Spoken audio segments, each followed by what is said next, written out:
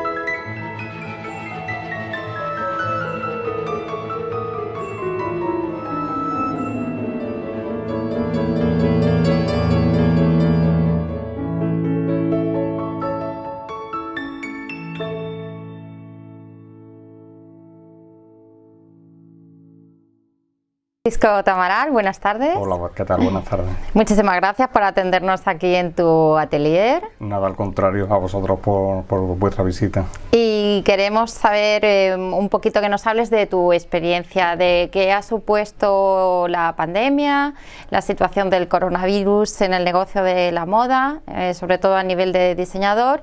Y bueno, eh, recientemente has presentado una colección de novia, también queremos saber un poquito de eso, de tu audacia a la hora de, haber creado una nueva colección y de tus proyectos?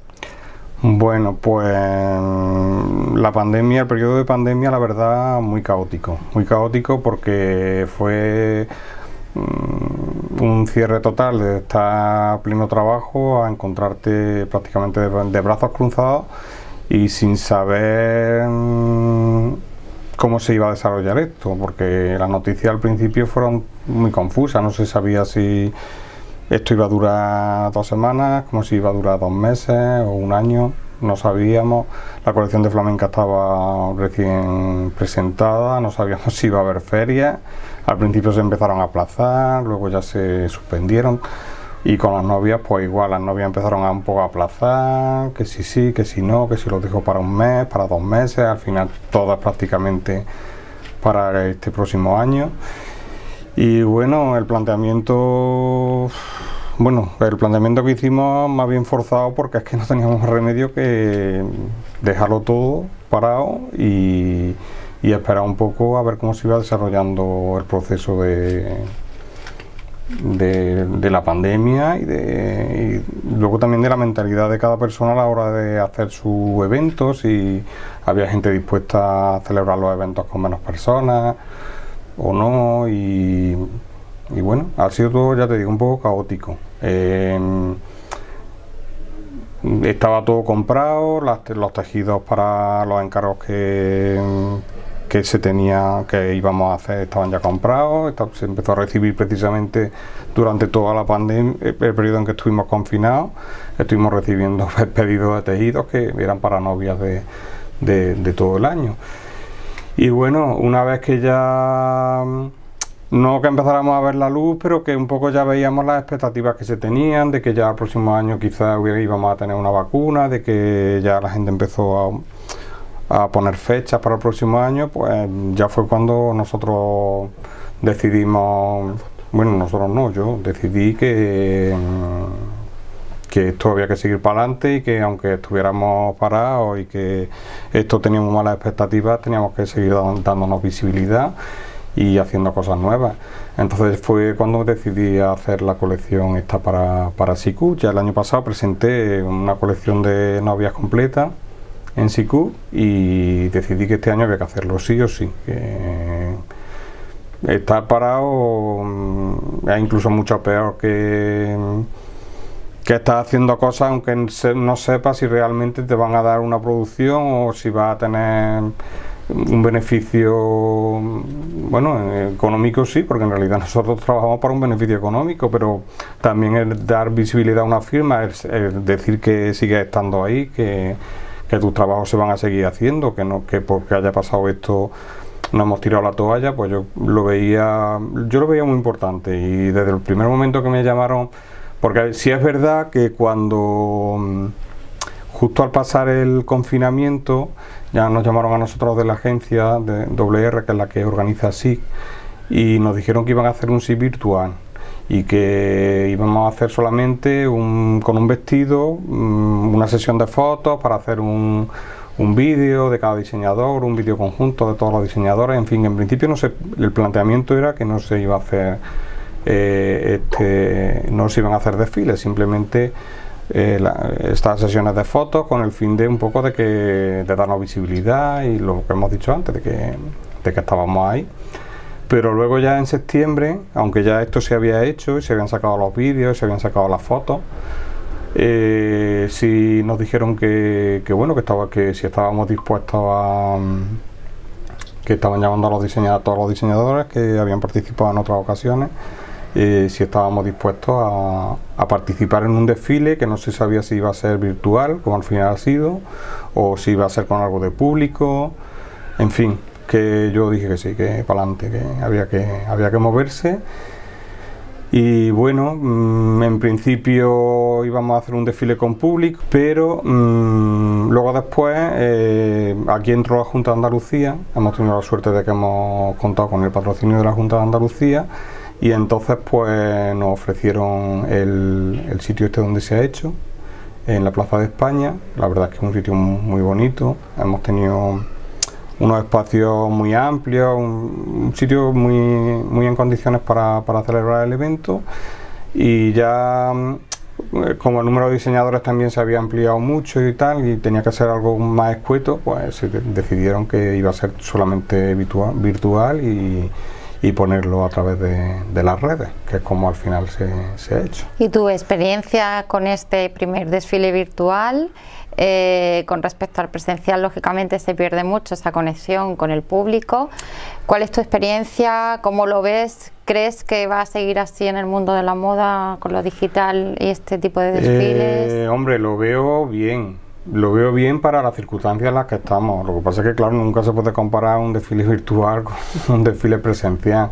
Eh, yo creo, creo, que allí varias veces lo dije que era todo como muy extraño porque no, no tiene el subidón de adrenalina de un desfile porque estás haciendo algo que sabes que si no sale bien, pues cortas y vuelves a grabar y ya está. Entonces, bueno, para las circunstancias en las que estamos o para algún momento puntual o una pequeña colección mmm, crucero que quieras hacer un pequeño desfile o en vez de un desfile quieras hacer un vídeo promocional, para algo así sí lo, lo puedo ver. Y lo veo muy bien como se ha hecho, pero es verdad que un desfile pues tiene para un diseñador mm, tiene su cosas, tiene sus cosas y tiene su es una experiencia eh, bueno al fin y al cabo, aparte de que para un diseñador el, no solamente es, su negocio producir, hacer una producción, ganar dinero para mantener el negocio y para vivir, pero también cuando se hacen desfiles tienes tu subidón de adrenalina, de que estás presentando tu trabajo, de que haces muchas veces cosas que normalmente nunca van a llegar a la calle, pero que estás presentando lo que tú sabes hacer. Entonces, no es lo mismo, no es lo mismo. Yo salí de allí cuando hicimos las grabaciones, pues salí prácticamente pues como había entrado. No cuando haces un desfile, pues tiene, es una experiencia completamente distinta está bien para estas circunstancias, pero yo espero que se sigan realizando desfiles presenciales. Háblanos un poquito de la colección que has presentado, eh, se llama Urania, creo que son 12 diseños, ¿verdad? Y bueno, eh, coméntanos un poquito en qué te has inspirado, qué novia o qué estilos quieres tocar, qué tipo de mujer. Bueno, la colección partió un poco de la base del vestido que ya habíamos hecho para la primera grabación del SIC, y bueno, la llamé Urania porque estaba tanteando un poco el mundo de las musas, el, mundo del color, de meter algo de color en novia. Es verdad que este año mm, las pocas tomas de contacto que había tenido con clientas para el año que viene ya habían sido partícipes ellas de, meter color en vestidos. Y bueno, Urania era una musa de la astrología y se presentaba un poco, se presentaba un poco como se presenta en la cultura la religión católica la Virgen María se presentaba vestida de azul, con un manto azul y con, una corona de estrellas. Entonces, pues me basé un poco en, ese tema. Eh, tenía intención de meter algo de azul, de, agua marina. Entonces fue un poco el título de la colección, un poco por concentrarlo con el con la estética que yo quería sacar también, presentar en el, en el desfile.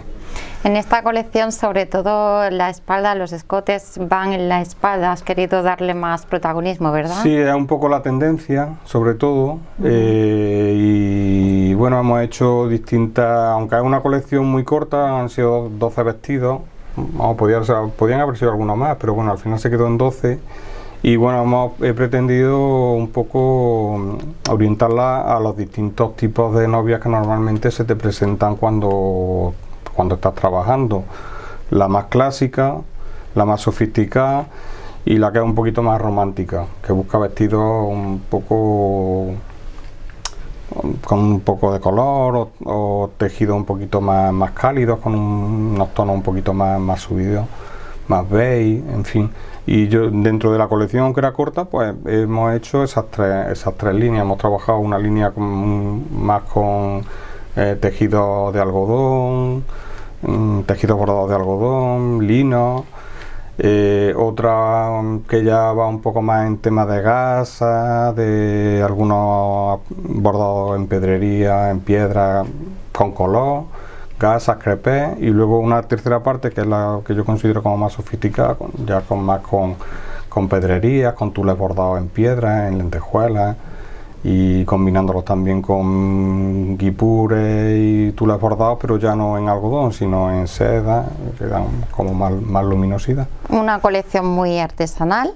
Sí, bueno, yo mi, lo quiera o no, siempre trabajo mucho la artesanía. Vamos, de hecho yo soy artesano.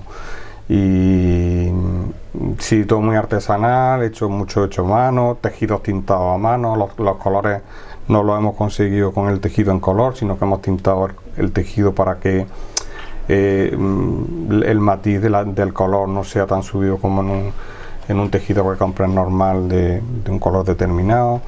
Y bueno, sí, muy artesana. hemos trabajado mucho el tema de las incrustaciones de, de encaje sobre, sobre pedrería, que ha sido bastante complicado, la verdad. y bueno, en fin sí, todo muy artesano porque además el tipo de novia que nosotros que yo hago es muy artesana. Hemos visto vestidos, hemos visto conjunto de dos piezas también y pantalones. Los pantalones cada vez adquieren más también más protagonismo, son más demandados por las clientas. Pues la verdad es que sí. De hecho, la última boda de las pocas que yo he hecho este año ha sido un traje de pantalón.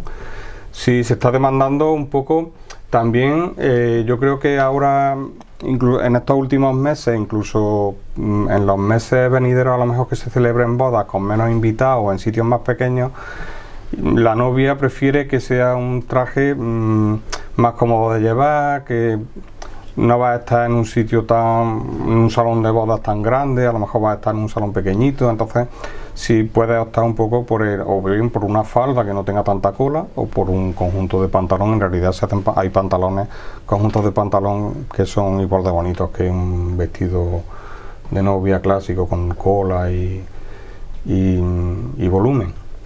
Y bueno, de cara ya al 2021, en nuevos proyectos, también estás metido en la creación de mascarillas, como están haciendo muchísimos diseñadores. Es otra línea más abierta, que además te está yendo muy bien. Son bastante originales. Las mascarillas empezó pues en marzo, eh, en principio ayudando a asociaciones y que necesitaban, porque como no teníamos no tenía tampoco nada que hacer, pues me empecé a hacer mascarillas. Y luego ya, como una vez que pasó el, confinamiento y en vista de que todo se estaba aplazando, pues vimos que era un punto de venta que bueno, que no, no nos ha ido mal y de hecho no nos sigue yendo mal. Y bueno, pues por lo menos podemos estar manteniendo un poco el taller, la tienda y todo lo demás. Francisco, cuando una clienta en Córdoba quiera visitar tu atelier, tiene que venir aquí, la dirección. Sí, yo estoy aquí en calle Concepción, en el número 4. Y bueno, normalmente la mayoría de mis clientes suelen venir con cita previa, pero bueno, yo suelo estar aquí. Eh, si alguien viene directamente, lo puedo atender sin ningún problema. Pero vamos, normalmente se suele atender con cita previa porque nuestro trabajo es muy personalizado y aquí, si hay una clienta, no hay ninguna más. O sea que tiene que ser con, con el tiempo un poco estipulado. Pero bueno, yo aquí estoy en calle Concepción 4 y nada, para quien la que necesite, nosotros nuestro servicio es un servicio integral, desde asesoramiento, ya aparte de la colección que tenemos, podemos asesorar si el tipo de vestido que se debe de poner, no el tipo de vestido en sí, no sé si me he explicado bien, sino la forma de vestido que mejor le puede ir, o para el sitio en el que se va a celebrar la boda, podemos asesorar en complementos, incluso podemos asesorar en peluquería, tenemos muy buenos tengo muy buenos contactos con temas de peluquería, de maquillaje, en fin, se puede hacer incluso un asesoramiento total de la boda. Y bueno, yo creo que el concepto es un el concepto del traje a medida es un concepto que cada vez está más sentado. Eh, tuvo su tiempo en los años 70, 60, fue el traje de novia, era siempre a medida. Y yo creo que realmente quien la novia que busca algo distinto, pues busca un traje a medida. que se puede hacer a medida o puede ser un traje de los que se hayan hecho para una colección, no tiene por qué ser a la fuerza un traje a medida. Pero siempre hay esa diferenciación de que sabes que ese vestido, como ese vestido no va a haber ninguno más. Mm, no sale ninguno más, solamente uno. Aunque elija uno de una colección, siempre la novia siempre le hace algún cambio. Hablo de novia como hablo de una madrina, de una invitada o de cualquier persona que vaya, que vaya a la boda.